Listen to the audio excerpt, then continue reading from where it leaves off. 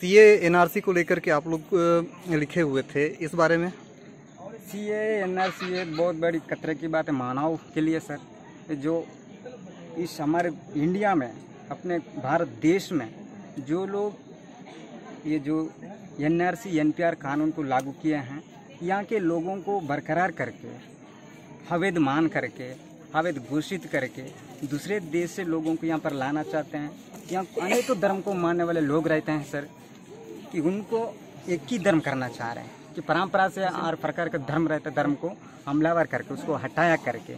जबरान उनको एक धर्म के रूप में धार्मिक के माध्यम से उनको यहाँ से अपनी मूल निवास से अपनी आस्था से अस्तित्व से निकल करके एक डिटेंशन कैंप के दौर पर एक नियम बना करके उस कैंप में डाला जा रहा है। तो इसका विरोध आप लोग कर रहे हैं। क्या इसमें कुछ सुधार करने की मांग नहीं की जा सकती है? इसको सुधारने की बहुत ज़रूरत है सर। जो हिंदू लोगों को भी मानना ज़रूरी है जो दलितों को भी मानना ज़रूरी है जो अल्पसंख्यक के लोगों को भी मानना ज़रूरी है कि इस देश में यह नहीं है, बल्कि इस दुनिया में जो मानव है, मानव एक ही है, जो मानव का विकास जो जानवर से हुआ है जो बोलते हैं होमोसेम्पियास तब से लेकर आज तक देखा जाए तो इतिहास में देखा जाए तो मानव एक ही जानवर से पैदा हुए हैं, आज भी एक ही हैं। लेकिन आज के डेट में देखा जाए तो कुछ लोग इधर उधर हो करके एक दूसरे को ये अलग बोल रहे हैं, एक दूसरे को दूसरा वर्ग बोल रहे हैं, एक दूसरे को दूसरा जाति के लोग बोल रहे हैं। क्या चाहते क्या है C N R C N P R को लेकर के आप लोग? हम लोग एन पी आर को ये चाहते हैं सर एनपीआर हमारे देश में ही नहीं होना है। लागू नहीं होना चाहिए। जी। लागू नहीं होना चाहिए। लागू नहीं होना चाहिए। लागू नहीं होना चाहिए। लागू इस इस देश में ये जो कानून है इस कानून को यहाँ पर पारित नहीं करेंगे। इस तरह से हिंदू राष्ट्र की बात करते हैं हिंदूकरण करने की बात लिखी हुई थी। तो आदिवासियों का धर्म क्या है? और वो हिंदू धर्म का विरोध क्यों? आदिवासियों का धर्म बहुत पहले से सर। जब जैसे देश में आदिवासियों ने जो जीवन यापन करते हुए आज तक आए हैं, उनके हिसाब से अलग अलग धर्म अलग अलग जाति के लिए भी है अलग अलग समुदाय के लिए भी है। तो आदिवासियों के लिए भी एक अलग अलग धर्म है, अलग ये जो देवी देवता है। इनका सबसे ज़्यादा करीबी देवता है जो धर्म है प्रकृति का आस्था है। इसको लेकर के आज तक, पहले से लेकर आज तक देखा जाए तो इन लोग इसी को लेकर रह रहे हैं। इसी को लेकर आएँगे। लेकिन जबरान ये जो हिंदूकरण करने के लिए जो हिंदू के लोग हैं जो बीजेपी या आरएसएस के जो संगठन हैं कराने के लिए जबरान किया जा रहा है ये नरसी ये एनपीआर के इस कानून के माध्यम से। तो आदिवासियों का धर्म हिंदू धर्म नहीं है बल्कि प्रकृति प्रकृति के उपासक आदिवासी हैं। तो प्रकृति क्या इनका धर्म है? जी सर बिल्कुल। सबसे ज़्यादा आदिवासी जो जहाँ पर रहते हैं उनके पास प्रकृति का अनिवार्यता रहता है। वो इनके पास ना जो बस्तियाँ नहीं रहती तो शहरों में उतना ज़्यादा नहीं बसते हैं।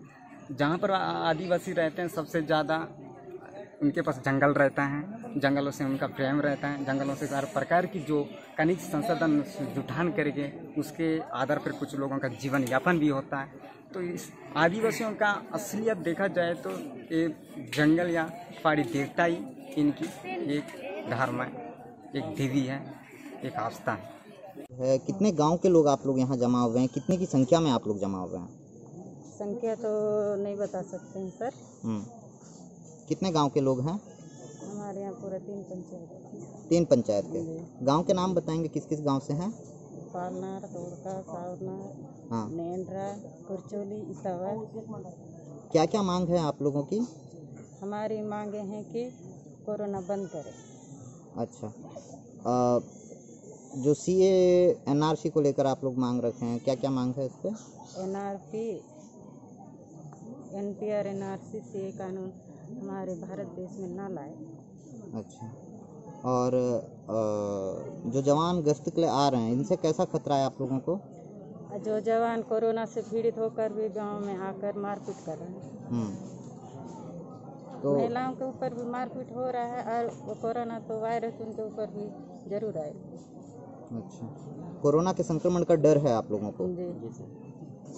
तो इससे पहले आप लोगों ने विरोध दर्ज किया है क्या? कोरोना। पहली बार है। अच्छा ये N P R C N R C से किस तरह का खतरा है? कौन सी ऐसी बात हैं? से खतरा है कि जब ये लागू अच्छा। अच्छा। C A N P R और सी एन आर सी से किस तरह का खतरा है आप लोगों को? सर, इस संविधान से हमको यही खतरा है कि इस संविधान में हर एक तरह की डॉक्यूमेंट्स मांगी जा रही है। इस आदिवासियों के पास डॉक्यूमेंट जो प्रूफ करना चाहिए, वो डॉक्यूमेंट्स सारे डॉक्यूमेंट्स आदिवासियों के पास नहीं है, सर। हम यही चाहते हैं कि इस कानून को जहाँ चलाना चाहिए, वहीं चलाए, या तो इस भारत में बंद कर दिया जाए। क्योंकि इस कानून से बहुत सारे लोगों का जीवन व्यस्त व्यस्त हो सकती है सर। तो आपको क्या लगता है आदिवासी इलाकों में इस कानून को लागू ना किया जाए ये मांग है आप लोगों की? सर आदिवासियों इलाकों में नहीं बल्कि भारत में ही ना चले।